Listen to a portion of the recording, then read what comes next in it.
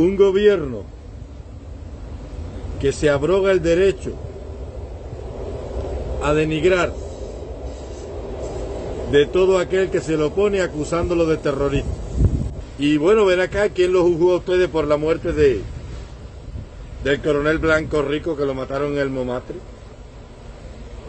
¿Y por qué no lo juzgan por la muerte del teniente coronel Salas Cañizares?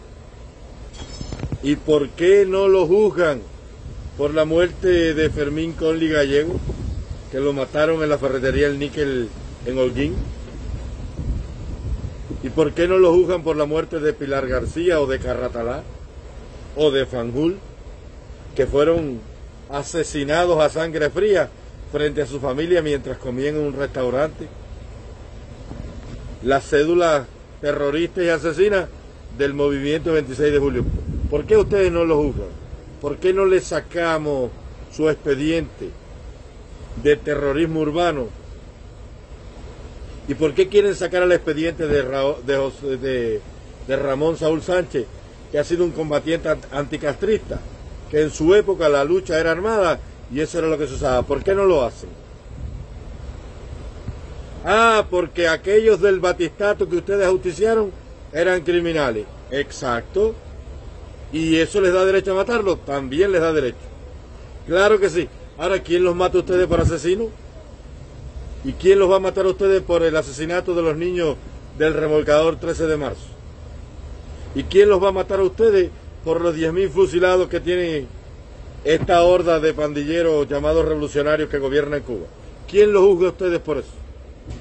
¿Y cuándo van a llevar al pelotón de fusilamiento al otrora primer secretario del partido de Matanza, que por orden de Fidel masacró con los cazas de combate a los muchachos del, secuestro en el río Caníbal en Matanza. ¿Cuándo? ¿Para cuándo es eso? ¿Y cuándo van a llevar al Jamao el, el militante del partido del puerto que hundió el remolcador 13 de marzo con los polargos aquella noche de crimen frente a la bahía de La Habana? ¿Para cuándo es la cosa? ¿Y cuándo van a exhumar las cenizas de Fidel Castro?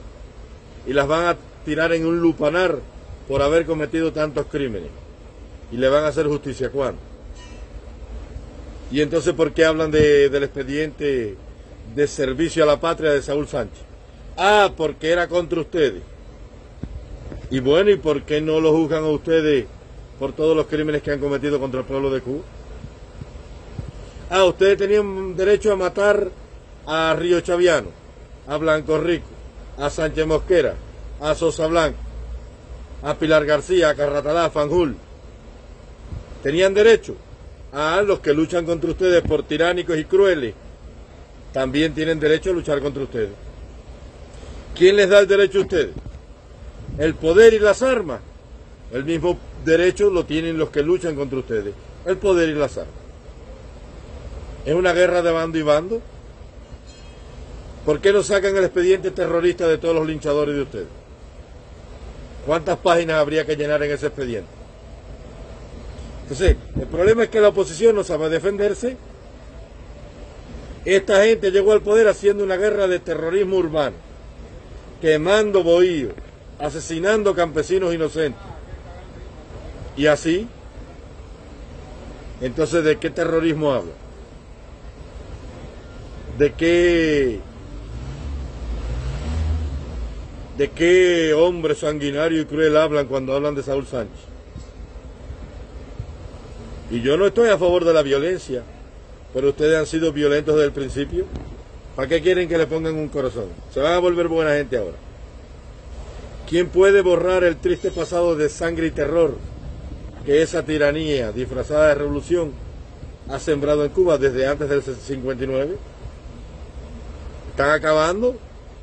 ¿Cuántos ingenios, campecañas centrales, almacenes, sistema de tendido eléctrico ustedes arrasaron en Cuba para llegar al poder?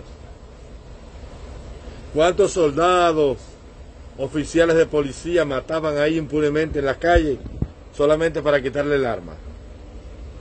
¿Los asistía a la razón de luchar contra la tiranía? Los asistía. Como mismo hoy asiste a los que luchan contra ustedes lincharlos también porque ustedes son unos tiranos igual. Estamos en paz. Esto es dando y dando. Dando y dando. Entonces, ¿por qué tú vas a acusar a, a Ramón Saúl Sánchez de terrorista? Y quieres vincular a Junior con esto. Todo el mundo responde a una agenda imperial. Si la gente te está pidiendo libertad, la gente no está diciendo queremos que venga el exilio cubano para acá. La gente te está diciendo en la calle de Cuba abajo el comunismo. Ustedes no son un partido comunista. Ustedes no representan el Partido Comunista. No son militantes del Partido Comunista. La gente lo que corea bajo el comunismo. Queremos libertad. La gente no está diciendo, ay, pero queremos que venga la mafia de Miami.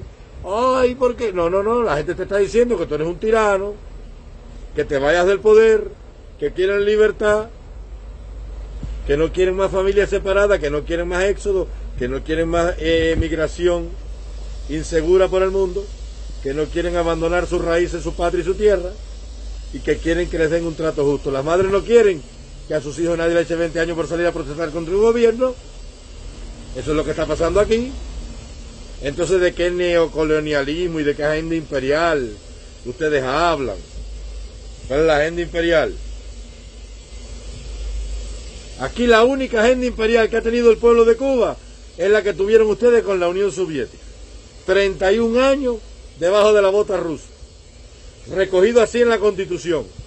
La República de Cuba reconoce su entera lealtad a la Unión Soviética y a los países de Europa del Este y al internacionalismo proletario. Ustedes respondían a la gente a, la agenda imperial del imperialismo soviético. Los cubanos que viven en Estados Unidos están exiliados allá. Como mismo en los días de Martí, se exiliaron allá también. Y como mismo tú fuiste a buscar dinero allá. Cuéntale al pueblo de Cuba que el presidente Priu te dio en la frontera con México 50 mil dólares para tu expedición. No le hagas el cuento a nadie que tú recogiste cuatro pesetas. No, el dinero para la expedición del Granma te lo dio el presidente Priu en la frontera con México, que se entrevistó contigo. 50 mil dólares. Hoy serían 500 mil dólares. Y él hizo un pacto contigo de que él iba a desembarcar fuerzas en Cuba. Por eso fue la masacre del Corintia. Ellos vinieron y desembarcaron por Playa Corintia y allá los mataron a todos. Que los esperó Fermín Conlis Gallego. ¿O se te olvidó la historia? A mí no se me ha olvidado los mártires del Corintia que desembarcaron en Bani, en Oriente, en Holguín. Deja la mentira, que fue un pacto que hicieron tú y Prío él te daba dinero y mandaba a los expedicionarios del Corintia para juntarse contigo en la sierra. ¿Y qué hicieron? Que no le prestaste apoyo y los mataron a todos. Como todas las mentiras de ustedes.